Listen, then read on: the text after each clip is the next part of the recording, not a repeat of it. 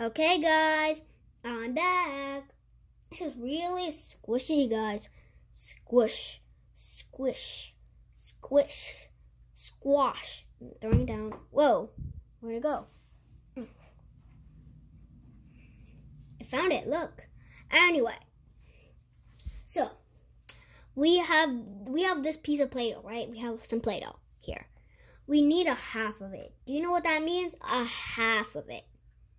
Or, well, we're going to need a big circle or a small circle. Half of it would be a small circle. All of it would be a big circle. So let's get a big circle. If you want, if you do a small circle, like you save some Play-Doh, you could actually, you could actually do decorations.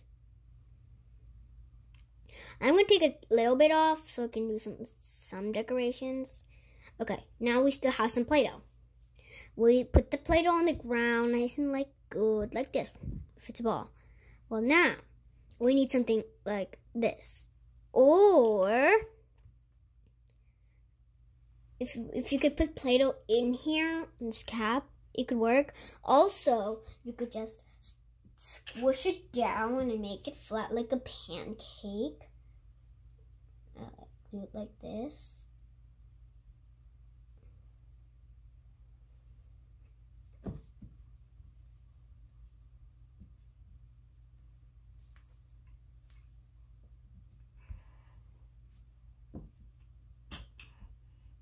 Slowly squish it. But again,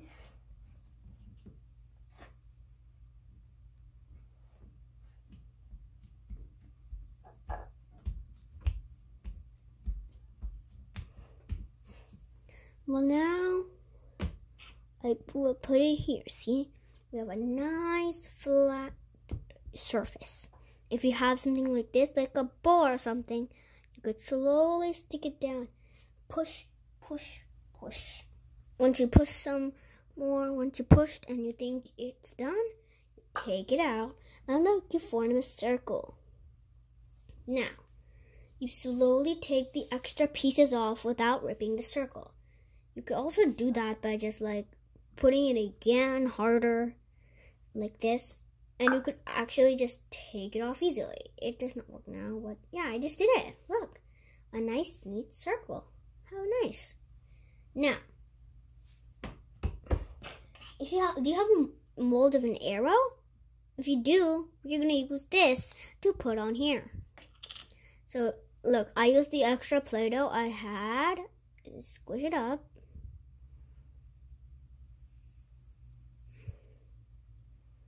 Um, I think I have too much for this, so I slowly take a bit off and use that piece.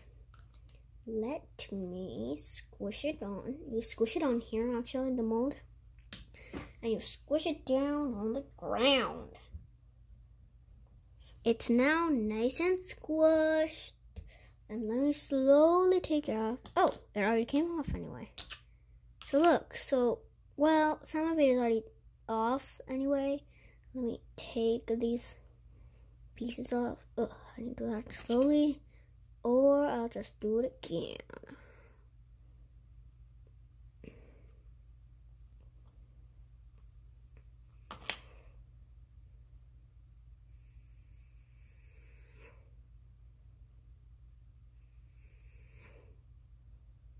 like this.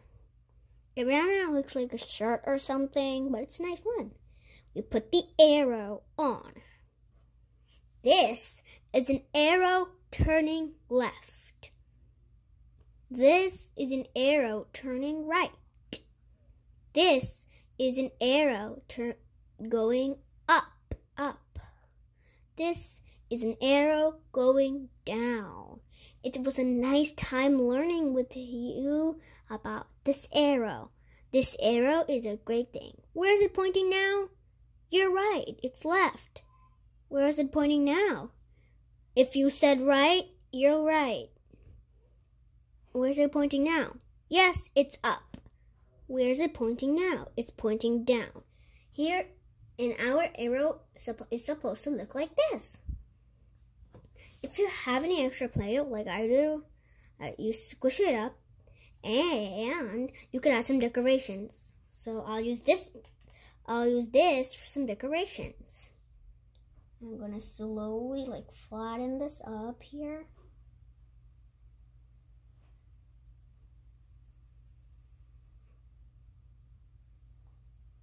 Look, it looks like a small mini pancake. It's so thin actually. Look how thin it is. I slow I'm slowly gonna fold it. I'll decorate my arrow.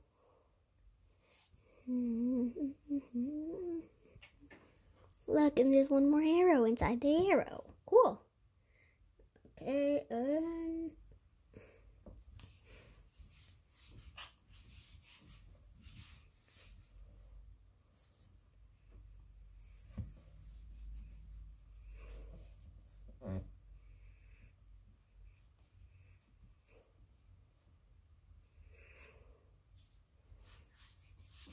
So you roll it like this, like a cool snake we made in another video.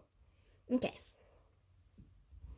That was just my second video. Anyway, I'm gonna wrap it around. If you like my idea, you can do it if you want. Slowly wrap it around on the side. I like my arrow now. It looks like it looks so nice. It's okay, there's some extra space. See, I have some extra space here. But look at my arrow now. I'll just save this bunch extra inside here. Guys, I hope you had a fun time learning how the arrow, learning about where the arrow points. Um, and learning and um, making a lamp out of Play-Doh with me. Have a great time, guys. If this, if keep act, you should actually keep the arrow handy. I still have a lot of more videos to do.